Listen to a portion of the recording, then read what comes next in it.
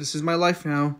Having to both deal with an annoying older brother with a pig face, and dealing with possibly the literal spawn of Satan himself. Thursday. Well, today's another day of suffering. Today could have been a good day, but no. As always, mom ruins everything like she always does. Oh, Greg, by the way, Manny and Manrick are both coming with you at school today. What? I only have five words. You gotta be fucking kidding me. What's wrong, Greg? Don't forget this is all your fault. Leave me alone, Bubby. Susan, wait, I object this. Manny and Rodrick are not going to school with Greg today, or any day. Do you know what could happen? Do you? Are you even listening to me? Unfortunately, Dad's negotiating skills are horrific. I got sent to school for these abominations.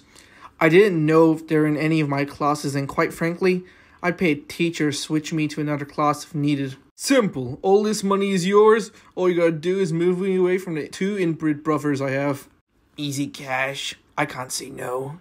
Unfortunately, due to my luck, they were in all of my classes, and it was the worst in math since I need to concentrate in that class. Sadly, I can't do my previous ideas since I'm broke, so I can't buy my way out of this. Screw this! Take care of my test for me, Fru. Uh, sure, Greg.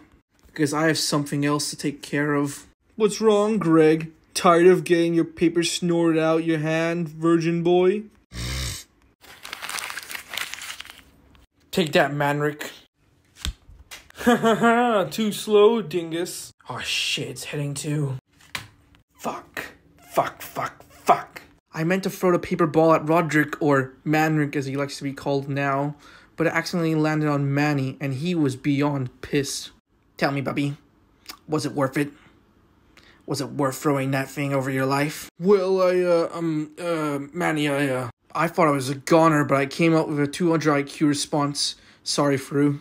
Fru, why the fuck would you do that? But, but Greg, I, I didn't, no, I thought we were friends. Why would you do this? Listen, Fru, I'm actually doing you a favor. You let me out. I didn't do it. Think of all the great things that happen when I totally annihilate you. No need for taxes and student loans or all that boring stuff. You got to go straight to heaven. Please, you don't have to. If they hear me out, I didn't do it. Fru Smiffins, age 9. Current status, deceased. Time of death, 12.41 a.m. Cause of death, brain death induced by Emmanuel Heffley. After Manny flashed a strange purple light at Fru, he started shaking violently, like he was having a seizure. I'm just glad it isn't me.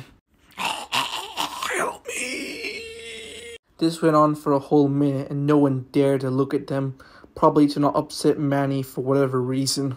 Uh, Albert, what's going on? Uh, should we do something about this? Oh no, Fregley, just don't look at those lights and just mind your business if you want to stay alive like me. Damn you, Greg, who's gonna do my homework now? After that, Manny crawled through a tile in the ceiling, dragging Fru's body with him.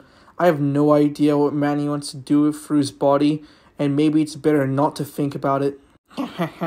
Merry Christmas and fuck you, idiot. Things may have been hard at school today, but finally the only enjoyable part of my day, gym, arrived. I'm open, I'm open, pass to me, pass to me. Unfortunately, our gym teacher made a horrific announcement today.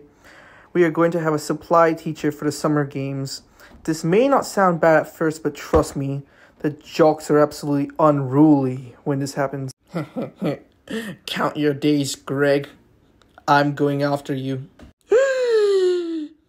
With team captains, the teams are usually unfair and unbalanced, so the teacher used a team generator.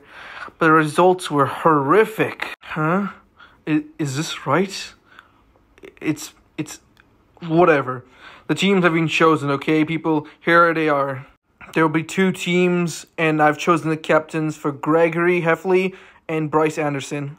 For Team Greg, there'll be Gregory Heffley, Rowley Jefferson, Manrick Heffley, Chirag Gupta, and Fregley. As well as that, you'll have Speed Bump, Albert Sandy, Preston Mudd, Peter, and Alex Aruda. That's all the people in Greg Rifley's team. And a totally fairly made, unbiased team, Team Bryce. Bryce Anderson, Manny Heffley, Sharif, Tyrese, Big Gus, at least he has last name. As well as that, Bright Team Bryce will have Trevor, Jeremy, Jameson, Ernesto, and Flamingo. You may complain about the team balance, you may not. Just remember the random number generator chose, and it's final. Usually be upset. Us wimps usually lose against the jocks because we have no goals or stakes in the competition, but that is no longer an issue as we have nothing left to lose and everything left to win. The prize for the summer games is dozens and dozens and dozens of ice pops for the winners. Mmm, I'm just drooling thinking about it. Mmm, I can't wait to win this. Come on, team, let's get get 'em. We have a lot at stake today. We need to win those icy poles. So here we come, jocks. The summer games are on, and the Wimps are gonna win this game. The the Wimps? That's not a really good name to choose for us. At home, I was thinking of strategies to defeat Bryce's team in the summer games until the doorbell rang. It was Rodrick's band. Hey, Greg, Rod's little bro. Where's Rodrick? He hasn't texted me in days. It's a long story. Thankfully, though, I didn't have to explain anything to them since Manrick came down to greet them. Yo, what the hell happened to you, Rodrick? I'll explain in the garage. Also, it's Manrick now. Manrick, that sounds like the name of your little crocodile snot faced brother.